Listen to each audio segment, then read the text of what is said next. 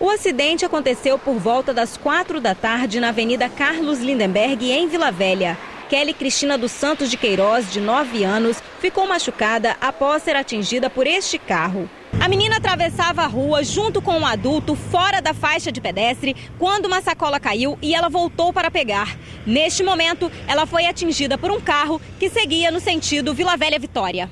O motorista ele para não ser uma não, não, atingir, não ser um acidente pior, ele se saiu. Mesmo assim, acabou é, atropelando essa essa jovem. Enquanto fazíamos a reportagem, flagramos outras pessoas atravessando a poucos metros da faixa de pedestre. De vez em quando acontece acidente nesse, nesse local.